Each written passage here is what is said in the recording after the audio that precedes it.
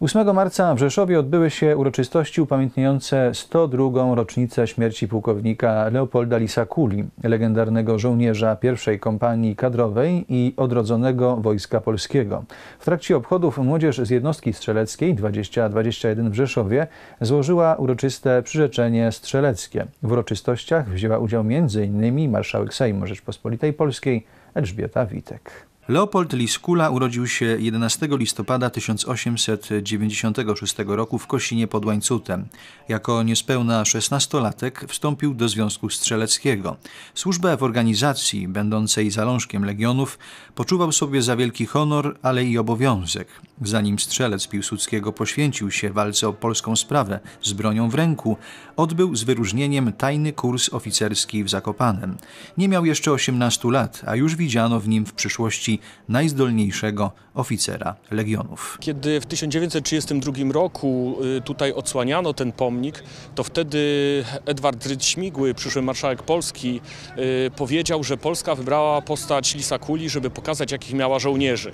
I rzeczywiście to był pierwszy pomnik postawiony konkretnemu legioniście, legioniście, który zginął w wieku niespełna 23 lat, będąc najmłodszym pułkownikiem Wojska Polskiego. Y, był to człowiek, który całe swoje życie poświęcił walce o niepodległość Rzeczpospolitej. Był skautem, był strzelcem, był legionistą, był członkiem Polskiej Organizacji Wojskowej, oficerem Wojska Polskiego i zginął w walce w czasie wojny polsko-ukraińskiej 7 marca 1919 roku na Wołyniu pod Torczynem.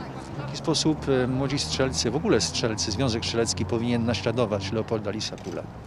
Leopold Diskula y, był niewątpliwie y, idolem pokolenia II Rzeczpospolitej, dlatego że on uosabiał wiele cech, którą powinny mieć, powinni mieć młodzi ludzie. Przede wszystkim y, patriotyzm. Ten patriotyzm on wypływał z tradycji rodzinnych. Jego dziadek był powstańcem styczniowym. On angażował się w działalność Związku Strzeleckiego, działalność skauta i później przeszedł cały szlak bojowy legionowy i ten konspiracyjny peowiacki. Y, też y, warto podkreślić, że y, poszedł na front, na ochotnika rok przed zdaniem matury, dlatego y, znajdował ten czas podczas y, walk frontowych, żeby jednak się uczyć i zdał maturę y, w gimnazjum w Wadowicach, w tym samym, którym później uczył się Karol Wojtyła. Obchody 102. rocznicy śmierci pułkownika Leopolda Lisakuli zainaugurowała uroczysta msza święta w kościele pod wezwaniem świętego Wojciecha i świętego Stanisława w Rzeszowie.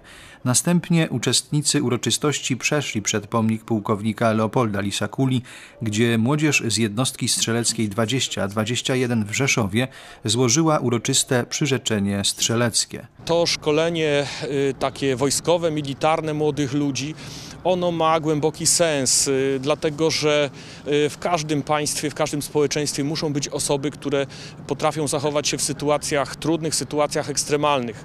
Y, kiedy była powódź, strzelcy na ochotnika pomagali w ratowaniu dobytku, później w usuwaniu skutków powodzi.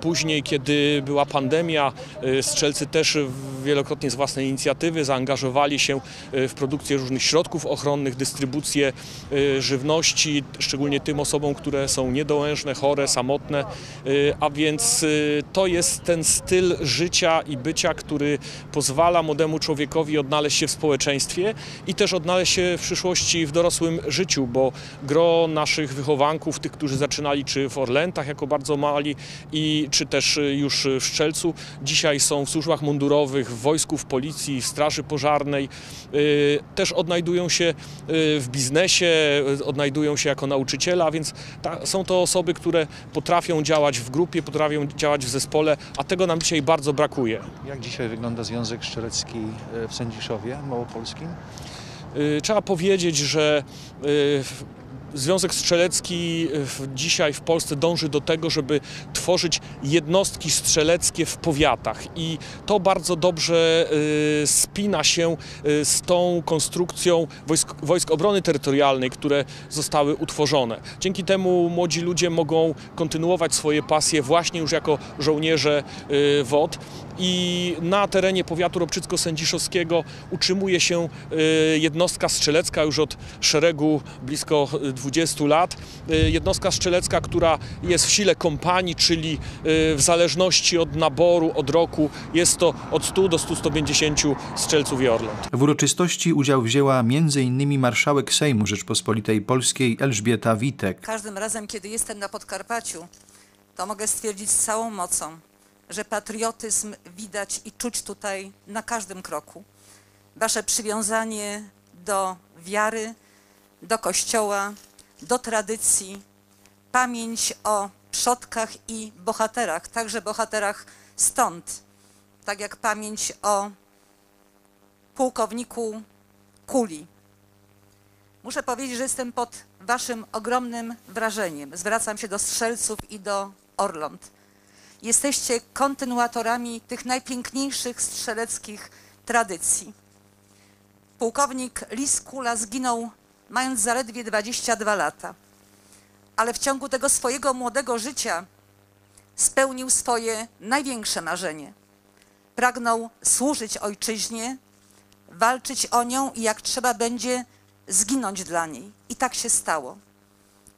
Był gimnazjalistą, był skautem, strzelcem i wreszcie żołnierzem Wojska Polskiego, najmłodszym pułkownikiem w polskiej armii. Potrafił zjednywać sobie ludzi, był niezwykle rycerski, ale wiedział, że służba ojczyźnie wymaga także tego, żeby wciąż się doskonalić, uczyć się. Zdał maturę, będąc na przepustce podczas działań wojennych. I wy dzisiaj czerpiecie z jego postaci, z jego dorobku, z jego krótkiego życia to, co najlepsze. Składaliście przed chwileczką niezwykle ważną przysięgę.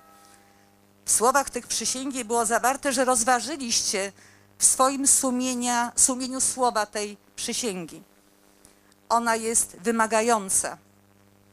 I bardzo bym chciała, żeby spełniły się wasze marzenia, wasze oczekiwania, bo skoro założyliście mundur, to wiecie, jaką przyszłość chcecie mieć dla siebie.